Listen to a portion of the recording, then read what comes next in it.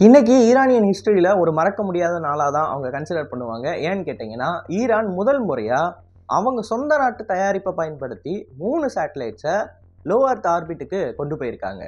இந்த மூணு சேட்டலைட்ஸுமே என்னென்ன அப்படின்றதும் ஈரானியன் ஸ்பேஸ் ஏஜென்சியை மேற்கு நாடுகள் எப்படி பார்க்குறாங்க அப்படின்றதையும் தெளிவாக நம்ம இந்த வீடியோவில் பார்க்க போகிறோம் நான் ஆகாஷ் தமிழ் பொக்கிஷம் வழங்கும் டிபி டிஃபென்ஸ் முதல்ல ஈரான் ஏவன இந்த மூணு சேட்டலைட்ஸை பற்றி நம்ம தெரிஞ்சுக்கலாம். இந்த மூணு சேட்டலைட்டில் ஒரு சேட்டலைட்டோட வெயிட்டு முப்பத்தி ரெண்டு கிலோ மிச்ச ரெண்டு சேட்டலைட்ஸோட வெயிட்டு பத்து பத்து கிலோ. இந்த முப்பத்தி ரெண்டு கிலோ சேட்டலைட்டோட வேலை என்ன அப்படின்னு பார்த்தீங்கன்னா இதுக்கப்புறம் ஃப்யூச்சரில் ஈரான் ஏவப்படக்கூடிய எல்லா சேட்டலைட்ஸும் சரியாக ஆர்பிட்டில் போய் உட்காருதா இல்லையா அப்படின்றத பார்க்குறதுக்கு தான் இந்த முப்பத்தி ரெண்டு கிலோ சேட்டலைட்டை ஏவியிருக்காங்க. கூட சேர்த்து இந்த ரெண்டு நேனோ சேட்டலைட் ஏவிருக்காங்களே இதோட பர்பஸ் என்ன அப்படின்னு கேட்டிங்கன்னா ஒன்று கம்யூனிகேஷன் இன்னொன்று குளோபல் பொசிஷனிங் கம்யூனிகேஷன் எந்த அளவுக்கு முக்கியம் அப்படின்னு சொல்லி நமக்கு தெரியும். அது இராணுவத்துக்கும் சரி சிவிலியன்ஸுக்கும் சரி ரொம்ப முக்கியமான ஒரு விஷயம். ஸோ கம்யூனிகேஷன் சேட்டலைட்டை ஃப்யூச்சரில் ஈரான் டிசைன் பண்ணுறதுக்கு தேவையான சில டேட்டாஸை இந்த நேனோ சேட்டலைட் அவங்களுக்கு கொடுக்கும். அதே சமயம் பொஷனிங் சேட்டலைட்டோட வேலையும் அதுதான். ஃப்யூச்சரில் ஈரான் டெவலப் பண்ணக்கூடிய அந்த குளோபல் பொஷனிங் மாதிரி இருக்கக்கூடிய சேட்டலைட் இருக்குது பார்த்தீங்களா? இப்போ ஜிபிஎஸ்ஸு க்ளோனாஸு நாவிக்கு இப்படி நம்ம சொல்லிக்கிட்டே போகிறோம்ல அந்த மாதிரி அவங்களோட ஒரு வேர்ஷனை உருவாக்கணும்னு நினைக்கிறப்ப இந்த சின்ன நேனோ சேட்டலைட்லேருந்து கிடைக்கக்கூடிய டேட்டாஸ் அவங்களுக்கு ஒரு முக்கியமான இன்புட்டாக இருக்கும். ஸோ இந்த மூணு சேட்டலைட்டையும் நீங்கள் சேர்த்து பார்த்தீங்க அப்படின்னா இந்த மூணுமே வருங்காலத்தில் ஈரானியன் ஸ்பேஸ் ஏஜென்சி ஏவப்படக்கூடிய சேட்டலைட்ஸுக்கு அசிஸ்ட் பண்ணுற மாதிரி தான் டிசைன் பண்ணப்பட்டிருக்கு. இப்போ இந்த மூணு சேட்டலைட்டையும் எங்கே கொண்டு போய் நிறுத்துறாங்க அப்படின்னா லோத் ஆர்பிட்டில் நிறுத்துறாங்க. சுமாராக நானூற்றம்பது கிலோமீட்டர் உயரத்தில் கொண்டு போய் புஷன் பண்ணுறாங்க இந்த ராக்கெட் இருக்குது பார்த்தீங்களா இதுக்கு அவங்க நாட்டில் ஒரு பேர் வச்சாலும் இதுக்கு காமனான நேம் அப்படின்னு சொல்லி ஃபீனிக்ஸ்ன்னு இருக்குது அந்த பேரை என்னால் சரியாக உச்சரிக்க முடியல. அதனால நான் ஃபீனிக்ஸ்னு சொல்கிறேன் பட் உண்மையான ராக்கெட்டோட பேரை கீழே போடுறேன்.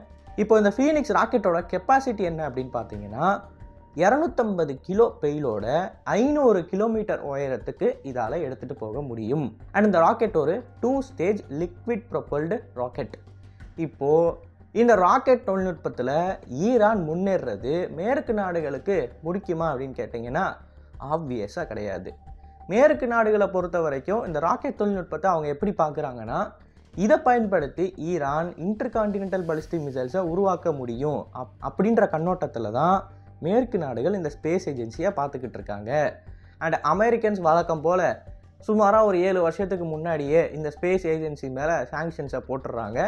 அண்ட் இந்த ஸ்பேஸ் ஏஜென்சி உருவான காலகட்டம் பார்த்துக்கிட்டிங்க அப்படின்னா இரண்டாயிரத்தி நாலாவது வருஷம். அதில் இருந்து ரெண்டாயிரத்தி பதினேழாவது வருஷம் தான் அவங்க முதல் முறையாக ஒரு ராக்கெட் ஒன்றை டெஸ்ட் பண்ணுறாங்க அந்த டெஸ்டிங் எல்லாம் முடிஞ்சதுக்கு அப்புறமா இப்போ தான் அவங்க சேட்டலைட்ஸை லான்ச் பண்ணுறாங்க ஸ்பேஸ் டெக்னாலஜி அப்படின்னு சொல்லக்கூடியது ஒரு நாட்டுக்கு ரொம்ப ரொம்ப முக்கியமான ஒன்று ஒரு நாடு தன்னோட மிலிட்டரியை வலிமையாக்கிக்கணும் அப்படின்னு நினச்சிச்சுன்னா கண்டிப்பாக விண்வெளிகளில் மிலிட்டரி சம்மந்தப்பட்ட சேட்டலைட்ஸை அதை கொண்டு போய் நிறுத்தி ஆகணும் அப்படி சேட்டலைட்ஸை நிறுத்துறதுக்கு ஏகப்பட்ட வழிகள் இருக்குது இப்போ நீங்கள் யூஎஸோட ஒரு ஆலாயாக இருந்தீங்க அப்படின்னா யூஎஸ் அவங்களோட சேட்டலைட் டேட்டாவை உங்களோட ஷேர் பண்ணுவாங்க. இல்லை அதை மீறி உங்களுக்குன்னு தனியாக சேட்டலைட்ஸை நீங்கள் நிறுத்திக்கணும்னு நினச்சிங்கன்னா அதையும் நாசா கண்டிப்பாக உங்களுக்கு கண்டி பண்ணித்தரும் இல்லை நீங்கள் ஸ்பேஸ் எக்ஸில் இருந்து கூட லான்ச் பண்ணலாம். இப்படி உங்களோட மிலிட்டரி சேட்டலைட்ஸை சூப்பர் போகிற நாடுகள் கூட நட்பாக இருந்தீங்க அப்படின்னா விண்வெளி கொண்டு போய் நிறுத்த முடியும். ஆனால் என்னதான் இருந்தாலும் நீங்கள் உங்களோட மிலிட்டரி சேட்டலைட்ஸை டிசைன் பண்ணி அதை பற்றி வேறு யாருக்கிட்டையும் சொல்லாமல் லான்ச் பண்ணணும் அப்படின்னு நினச்சிங்கன்னா உங்கள் நாட்டில் சொந்தமாக ஒரு ஸ்பேஸ் ப்ரோக்ராம் இருந்தே ஆகணும். அது இருந்தால் மட்டும்தான் உங்களால் முடியும். ஸோ அதை நோக்கி தான் ஈரான் போய்கிட்டு இருக்காங்க.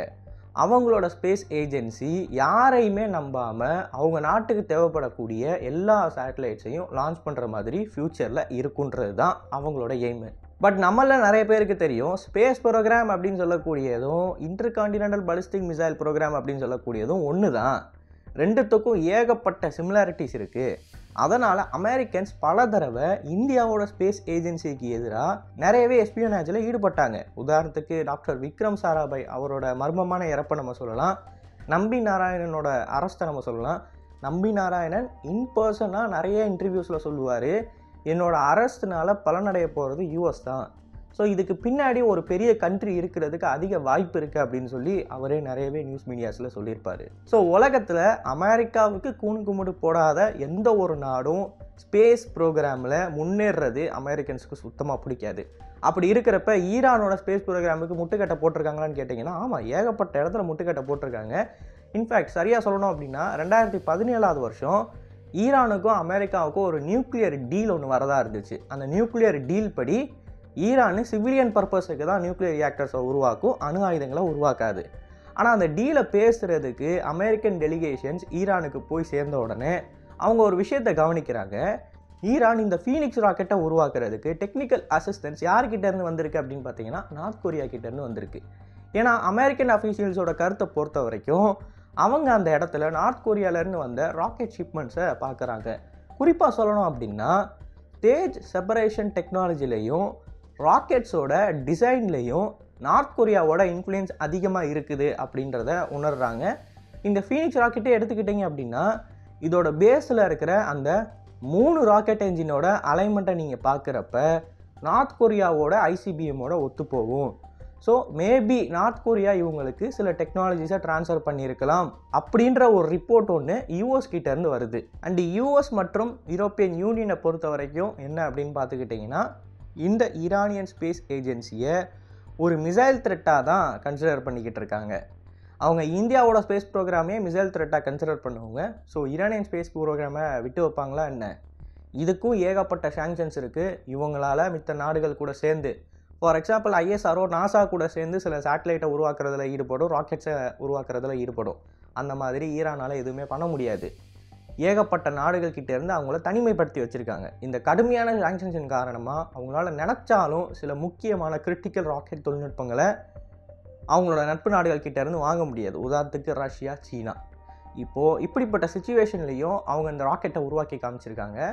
ஸோ இந்த ஃபீனிக்ஸ் ராக்கெட்டை நீங்கள் அப்படியே ஒரு ஐசிபிஎம்மாக கன்வெர்ட் பண்ணணும்னு நினச்சிங்க அப்படின்னா அப்படியே சிம்பிளாக ட்ரான்ஸ்ஃபர் பண்ணுறீங்க அப்படின்னா இந்த ஃபீனிக்ஸ் ராக்கெட்டோட ரேஞ்சு நாலாயிரம் கிலோமீட்டர் இருக்கும். நாலாயிரம் கிலோமீட்டர் ரேஞ்சில் கிட்டத்தட்ட ஒரு டன் வரைக்கும் பெய்லோட் எடுத்துகிட்டு போக முடியும்னு சொல்கிறாங்க ஸோ ஆரம்ப காலகட்டத்தில் அமெரிக்கன்ஸ் எப்படி நம்மளோட பிஎஸ்எல்வியை டவுட் பண்ணாங்களோ அதே மாதிரி தான் இந்த ராக்கெட்டையும் டவுட் பண்ணுறாங்க ஸோ இதோட ரேஞ்சு வந்து நாலாயிரம் கிலோமீட்டர் இருக்கிறப்ப இதால் அமெரிக்காவோட நகரங்களை தாக்க முடியுமா அப்படின்னு கேட்டிங்கன்னா கண்டிப்பாக முடியாது. ஏன்னா அமெரிக்க நகரங்களை தாக்கணும்னா அவங்களுக்கு பத்தாயிரம் கிலோமீட்டருக்கு மேலே ரேஞ்சு வேணும். ஆனால் இந்த ரேஞ்சை இப்போதைக்கு அவங்க கிட்ட இருக்கக்கூடிய பலிஸ்டிக் மிசைல்ஸோட கம்பேர் பண்ணி பார்த்தீங்க அப்படின்னா டூ பாயிண்ட் ஃபைவ் டைம்ஸ் அதிகம். ஸோ இவ்வளோ பெரிய ரேஞ்ச் அவங்களுக்கு இப்போ கிடைக்கிறதே பெரிய விஷயம்தான்.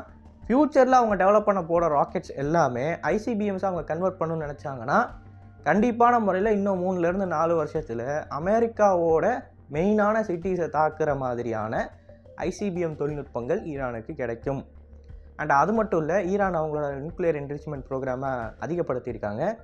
அவங்கக்கிட்ட ஆக்சுவலாக மூணு நியூக்கை தயாரிக்கிற அளவுக்கு என்ரிச்டு யுரேனியம் இருக்குன்னு கூட சமீபத்தில் ரிப்போர்ட் வந்துச்சு. ஸோ நியூக்ளியர் ப்ரோக்ராம் இருந்தால் மட்டும் பத்தாதுன்னு சொல்லி நான் நிறைய தடவை சொல்லுவேன். அந்த நியூக்ளியர் ப்ரோக்ராமை டெப்ளாய் பண்ணக்கூடிய ஒரு சிஸ்டமும் வேணும். ஃபார் எக்ஸாம்பிள் இந்த ஐசிபிஎம் ஸோ அந்த ஐசிபிஎம்ஸில் ஈரான் இறங்கி உருவாக்குறதுக்கு அவங்களுக்கு உதவி தர போகிறது அப்படின்னு பார்த்தீங்கன்னா இந்த ஸ்பேஸ் ப்ரோக்ராம் தான். அண்ட் இந்த இடத்துல நான் ஒரு விஷயத்தை தெளிவுபடுத்திக்கிறேன். அமெரிக்கன்ஸ் நினைக்கிறத ஒரு பக்கமாக வச்சுக்குவோம். இந்தியாவை பொறுத்த வரைக்கும் நம்மளோட ஸ்பேஸ் ப்ரோக்ராம் ஏகப்பட்ட மிசைல் ப்ரோக்ராமுக்கு கான்ட்ரிபியூஷனை கொடுத்துருக்கு.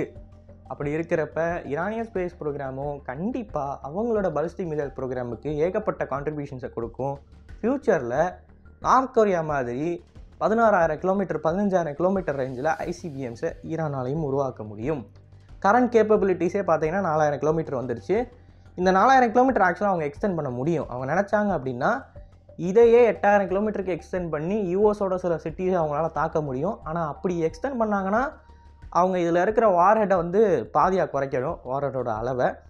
ஸோ பாதியாக குறைச்சாங்கன்றப்ப ஐநூறு கிலோவுக்கு தான் வார்ஹெட் எடுத்துகிட்டு போக முடியும். அது கொஞ்சம் வீக்காக இருக்கும் அந்த நியூக்ளியர் வெப்பனோட ஈல்டு பட் என்னதான் இருந்தாலும் ஒரு ஸ்டார்டிங் ஸ்டேஜில் இருக்கக்கூடிய இந்த மிசைல் ப்ரோக்ராமாக இருக்கட்டும் இல்லை ஸ்பேஸ் ப்ரோக்ராமாக இருக்கட்டும் ஃப்யூச்சரில் ஈரானுக்கு ஒரு மிகப்பெரிய லெவரேஜை கொடுக்க போகுது. அதில் எந்த விதமான மாற்று கருத்தும் இல்லை. ஸோ இதை பற்றி நீங்கள் என்ன நினைக்கிறீங்க அப்படின்னு மறக்காம கமிஷனில் பதிவிடுங்க. அண்ட் இது போல பல தகவல் தெரிந்து கொள்ள டிபி நியூஸ் பேஜை ஃபாலோ பண்ணிக்கோங்க. நல்லதே இப்போ இருந்து. நல்ல சமுதாயத்தை உருவாக்கும். நன்றி. வணக்கம்.